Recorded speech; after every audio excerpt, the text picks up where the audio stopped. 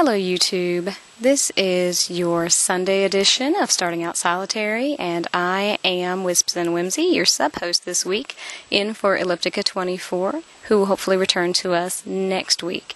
Our topic this week is spiritual symbols.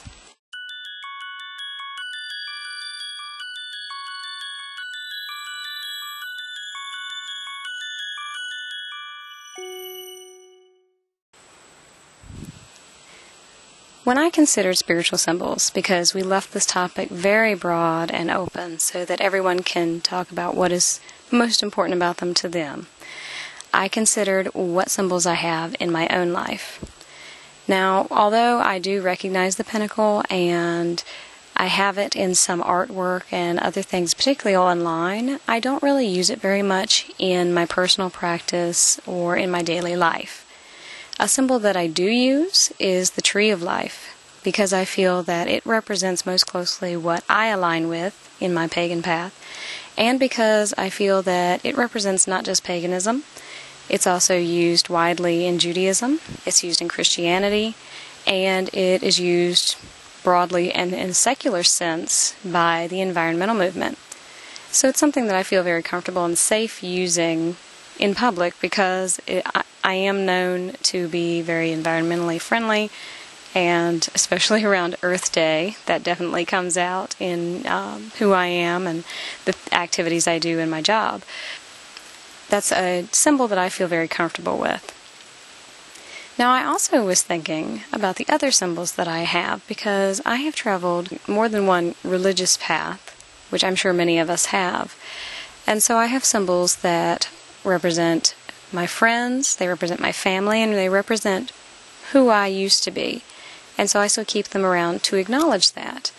So those symbols would be things like the Hamsa, or artwork that features the Star of David.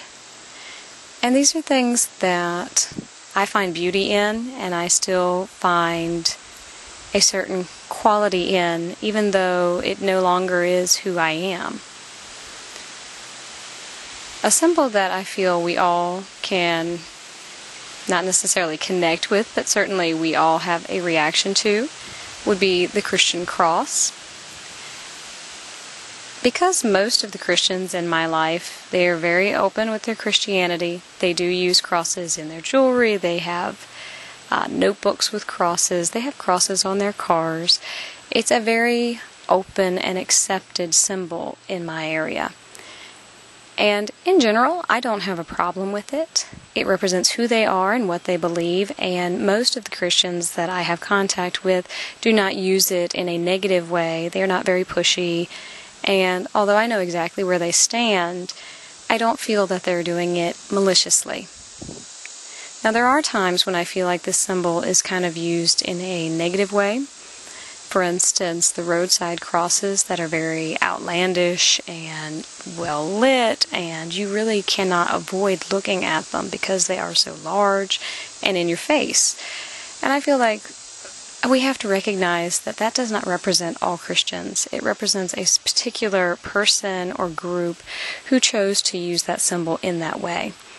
And I think that's something that we need to keep in mind when we use our own symbols that we not only are representing what we think when we use them, but also it reflects on others who use that symbol as well.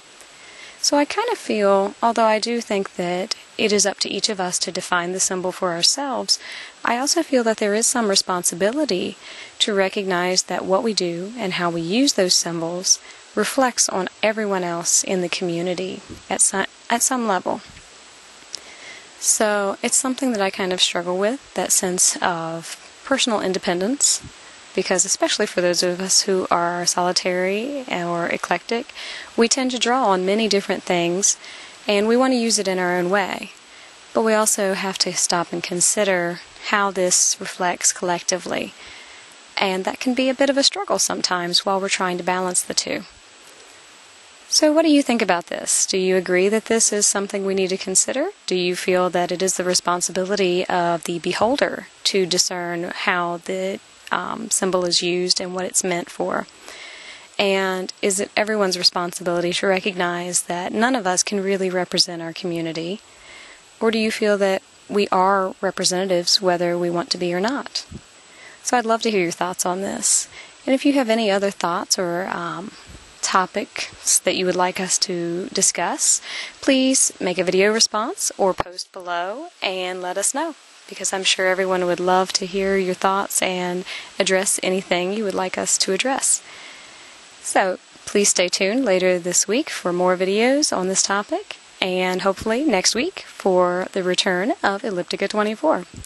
And until then, I am Wisps and Whimsy, wishing you blessings.